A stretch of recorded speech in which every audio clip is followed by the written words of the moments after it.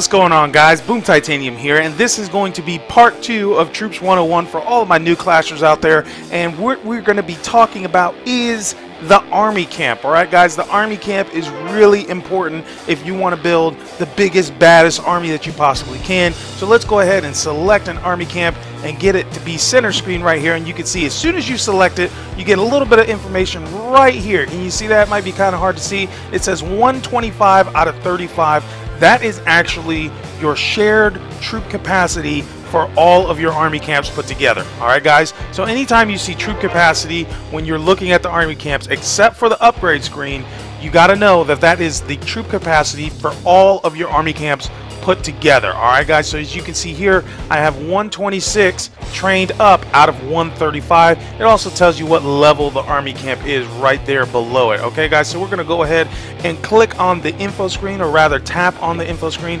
and you can see that the total troop capacity again is right there. That is the shared troop capacity with all of your army camps. Right now, I have three and all of them shared together have a total troop capacity of 135. Now, if you watch my previous video, you will know that total troop capacity, troop capacity in general, stands for housing space. It's the same thing. They correlate with one another, okay, guys? So now, when you're looking at this Army Camp window here, what do you see? The first thing that you see is the level and the fact that you have indeed selected an army camp. You'll also see the picture of what is in the middle of your army camp. Right now we can see that it's some kind of uh, wild boar, okay, or a pig or something like that being roasted. Yum.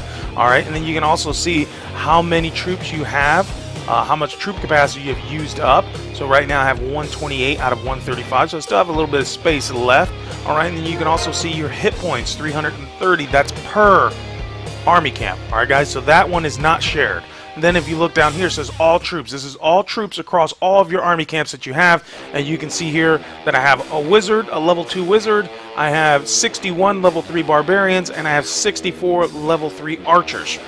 Alright guys, now these little red minus signs, what are they? You can actually tap these. You can even hold them down, okay, and get rid of some of the troops that you have if you don't want them.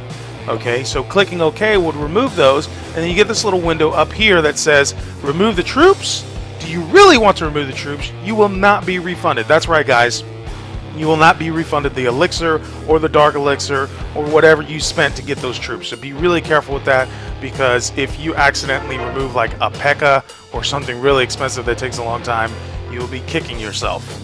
Literally, I, I did because I was upset. I did it one time and I'm trying to relive that scenario so you won't do it on accident. So I'm going to go ahead and click, uh, or rather tap on cancel, and then you will see here again all of these troops are shared across all of your army camps. So this is a really neat thing to do to kind of take a look and see what you have trained up before you go out to battle. You should always make sure that all of your total troop capacity is used up before you go out to battle, uh, unless, you know, you don't care and you're a baller like that. Alright guys, so at the bottom it says this little sentence which is very true. Your troops are stationed in the army camps, build more camps and upgrade them to muster a powerful army. Which brings us to the next point that we're going to talk about, which is the upgrade tab or card, whatever you want to call it. And you can see here it opens up this window, upgrade to level 6. Alright guys, and then there's lots of information on here. It tells you what you're going to upgrade and get. Like you can see right here, troop capacity is going to go up by five. Now this one is just this individual army camp. All right, guys. So if you upgrade this individual army camp, its troop capacity will go up by five, and it will share that added troop capacity with all the other ones.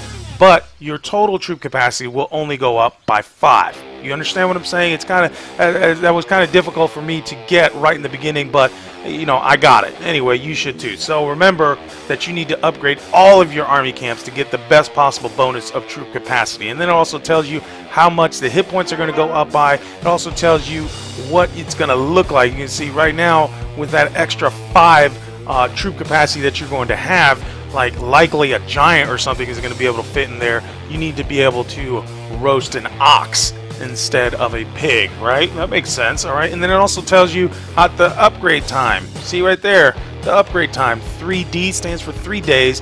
And then right here, if you tap on this green button right here, it'll say you need more elixir, especially if you don't have enough elixir like I don't. Now, if you do have enough elixir, it will automatically spend it, and boom, you're on your way. A builder, an available builder will come over there and start building it. If you don't, you have the option to buy the elixir by using gems. However, if you watch my gem video, you'll know you shouldn't do that unless you're a baller and you got lots of cash to spend on gems, or if you uh, already have all your builders, then you can do that. Would I do it? Probably not. Anyway, all right, let's go ahead and move on. So that's pretty much it, guys. That's that's all you should know about your army camps. I want to let you know also that when you have filled your army camps, as you can see here, I select this one, and it has 135 out of 135. Check it out. I'm going to deselect it. It will say full and it will actually say full on all of your army camps at the same time. You will never see one army camp say full and then the other one say unfull. If you see that, then there's something wrong with your game. And uh, yeah, whatever. Anyway, so now we have 135 out of 135 possible troops in their troop capacity. So we're going to go attack somebody. So you can see that when I go to attack somebody, there goes all 135 of my troop capacity right there. Now, I'm going to end this battle. I want you to go ahead and pay attention to that because if I go back and I go to my army camps, you will see there goes the very same troops with exception to my clan castle because clan castle troops don't actually go towards your army camps, but they do go with you in battle. So, that's pretty much it. That's everything that you need to know about Army camps.